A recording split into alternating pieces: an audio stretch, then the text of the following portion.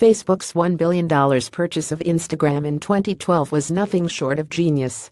Though the expensive acquisition raised more than a few eyebrows at the time, Instagram under the Facebook umbrella continues to soar to new heights.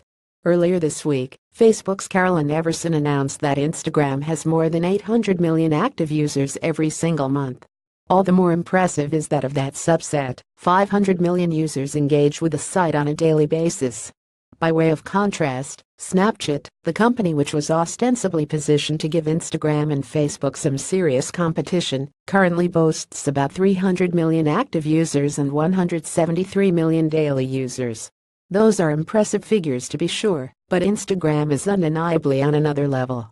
What's remarkable about Instagram is that subscriber growth hasn't shown any signs of slowing down over the past few years. Indeed, anytime a new challenge arises, Instagram is able to adjust quickly and adeptly.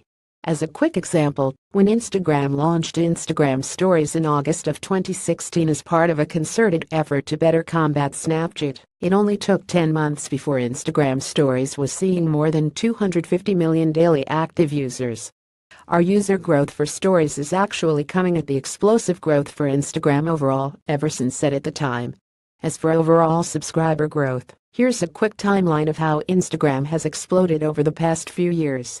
When Facebook initially acquired Instagram in 2012, the site boasted about 35 million users. 18 months later, Instagram announced that its user base had skyrocketed to 150 million. By December of 2015, Instagram announced that its site was now servicing more than 600 million active users. And now, less than two years later, Instagram's subscriber base has jumped by 33% to 800 million. Today, some analysts peg Instagram's standalone value in the $25 billion to $50 billion range. With the benefit of hindsight, Facebook's $1 billion offer now looks like the steal of the century.